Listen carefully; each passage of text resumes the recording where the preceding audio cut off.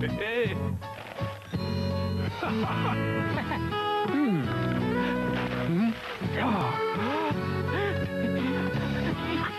it's amazing what you get out of a Happy Meal.